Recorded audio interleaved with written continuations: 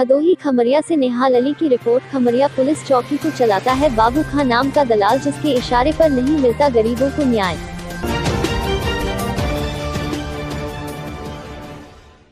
जी हाँ आपने सही सुना। उत्तर प्रदेश के भदोही जिला अंतर्गत और आई कोतवाली क्षेत्र के खमरिया पुलिस चौकी में बाबू खान नाम के व्यक्ति का इस कदर हवा है कि वहाँ के नागरिकों को न्याय के लिए दर दर भटकना पड़ता है। उसकी जेब को गर्म किए बिना क्या मजाल है कि किसी की सुनवाई पुलिस चौकी में हो जाए। आलम यह है कि कोई भी कैसा भी अनैतिक काम हो, बाबू खां की कृपा मिलते ही वो काम चुटकियों में हो जाता है और यदि आप बिना पैसे के कुछ नैतिक कार्य कराने की इच्छा रखते हैं तो पुलिस चौकी पर पुलिस वालों के सामने ही उसे गालियाँ और धमकी सुननी पड़ेगी ताज़ा वाक्य है नगर के मजगवा मोहल्ले की जहाँ जमीनी बंटवारे पर हुए विवाद और मारपीट की शिकायत पर सोनी उसके पति इस्तियाक और उसके बच्चों के साथ मारपीट की गई। सोनी जब अपने बच्चों के साथ पुलिस चौकी न्याय की गुहार करने पहुँची तो उसके साथ गाली गलौज कर और महिला पुलिस से पिटाई करा देने की धमकी देकर उसे भगा दिया। उक्त महिला ने अपने साथ हो रहे उत्पीड़न के संबंध में पुलिस अधीक्षक भदोही को 2 जून 25 जून 16 जुलाई, पुलिस महानिदेशक और उप निदेशक को 6 अगस्त, कोतवाली प्रभारी और आई को 25 अगस्त, चौकी इंचार्ज खमरिया को 26 अगस्त और 9 सितंबर से लिखित तौर पर गुहार लगाकर न्याय मांगी परंतु उसे कहीं न्याय नहीं मिला। पीड़ित का कहना है कि उसके सारे प्रार्थना पत्र खमरिया पुलिस द्वारा बाबू खां के प्रभाव में आकर दबा दिए जाते हैं। उसके और उसके पूरे परिवार के साथ मारपीट गाली गलौज और धमकियों का सिलसिला नहीं रुक रहा है। आइए सुनते हैं सोनी और उसके पति इस्तियाक की जुबानी। आपका नाम? हमारा नाम इश्तियाक क्या इश्तियाक क्या मामला है? भाई मेरे हमारा मतलब चार भाई के बीच में ज़मीन है। एक भाई टुकड़ा पे ले लिया है वो लिख के दे दिया है कि चारों लोग पिताजी हैं आपके? पिताजी मर चुके हैं भाई। तो क्या पिताजी किसी का नाम करके गए उसमें? नहीं किसी का नाम नहीं है। वो लिख कर जिसका ज़मीन था वो लिख कर दे दिया चारों भाई ले लो। हम लोग चारों भाई एक भाई के भाई के लड़के साथ थे हैं वो अपने के कब्जा कर रहे हैं। ये अशफाक और महताब अपने के कब्जा कर रहे हैं। ये आगे पुलिस वाले के हाँ साथ में लेकर घिरवा लिए इसको और घेरवा कर भी उसमें कब्जा है। और रोज बच्चे निकलते हैं बाहर आठ महीने से हमारा दरवाज़ा बंद रहता है। जब बच्चे निकलते हैं बाहर तो मारता है पीटता है ईटा पत्थरा चलाता है। जब मैं चौकी में आती है मेरी बीवी मेरे बच्चे हम्म, तो बाबू खाओ रहते हैं भगा देते हैं। हाँ कह रहे हैं जाओ। मतलब तो पुलिस के सामने मतलब प्रशासन के सामने भगा देते चौकी इंचार्ज बाबू खां है? उनका भी चल रहा है। आप सुबह जब मारे पीटे मेरे बच्चों को मारे हैं और मेरे मारे हैं बच्चे हैं, दो साल के, तीन साल के उसको मारे हैं, जब उसको चोट लग गई,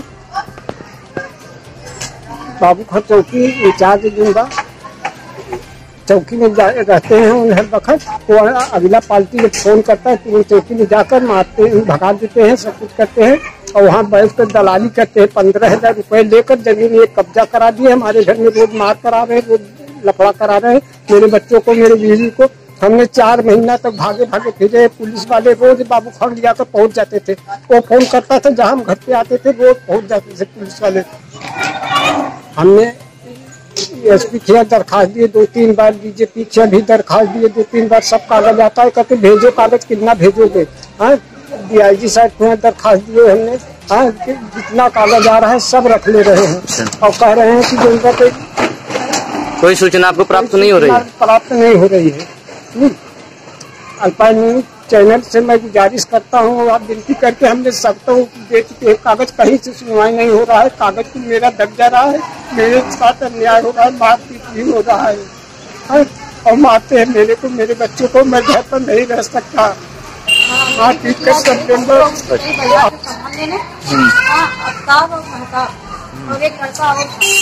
जाके वहाँ के हाँ। मारने के बाद घर आई। खाली हमने ये पूछा, आप क्यों मार रही हो?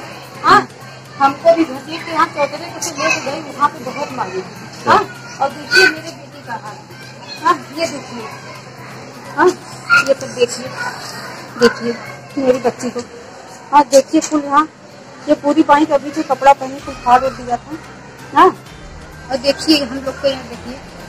यहाँ पे दांते काटा है मेरा जिभो हाँ सब में मारा है काफ़ी। हाँ। और ये ज़मीन जो थी चार भाइयों के बीच में है।